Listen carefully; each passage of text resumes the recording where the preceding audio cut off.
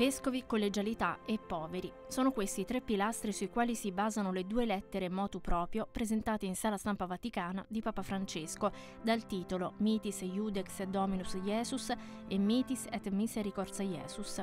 Entrambe riguardano la riforma del processo canonico per le cause di dichiarazione di nullità matrimoniale nel codice di diritto canonico e nel codice dei canoni delle chiese orientali. Sulla scia del sinodo straordinario sulla famiglia dell'ottobre scorso, il pontefice ha scelto di intervenire in modo incisivo creando prima una commissione di studio e poi emanando le due lettere. Il matrimonio, si legge nel documento, è cardine della famiglia cristiana e lo scopo è quello di non favorire la nullità dei matrimoni, ma la celerità dei processi. Centrale in questo procedimento è la figura del vescovo, una sorta di giudice unico che opera nella sua diocesi dove deve costituire un tribunale. Scompare però l'obbligo di una doppia sentenza conforme, ne basta una in favore della nullità. Nullità possibile anche per mancanza di fede che può generare simulazione del consenso matrimoniale. Resta in vigore comunque la possibilità dell'appello alla rota romana. Monsignor Pio Vito Pinto, decano della rota romana. Il Papa investe nella fiducia verso i vescovi. Nessun Papa ha celebrato due sinodi a distanza di un anno.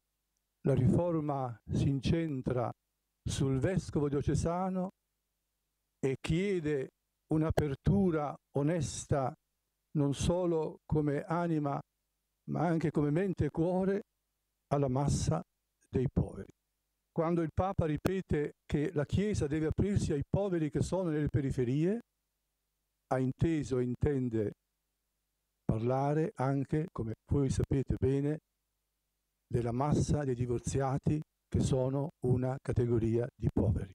Alle conferenze episcopali viene richiesto di favorire la gratuità delle procedure perché la Chiesa, scrive il Papa, manifesti l'amore gratuito di Cristo dal quale siamo stati salvati. A sottolineare l'aspetto della collegialità nella Chiesa è Monsignor Dimitrios Salacias, esarca apostolico di Atene per i cattolici greci di rito bizantino. La Chiesa cattolica deve respirare ormai con due polmoni. Non è una retoria questa ha un profondo senso teologico. La Chiesa Cattolica nella diversità, unica fede nella diversità di culture e di discipline canoniche. Quindi, sin dall'inizio, il legislatore, promulgato questi due motu proprio, dice costante è stata la volontà dei pontefici. Quindi questi due polmoni ormai devono respirare per esprimere la cattolicità della Chiesa. Le norme entreranno in vigore l'8 dicembre, inizio del Giubileo straordinario della Misericordia.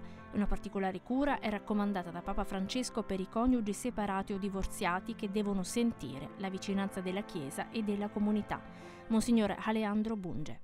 Alcuni hanno una ferita speciale, il matrimonio ferito dall'inizio, e questa è una nullità matrimoniale.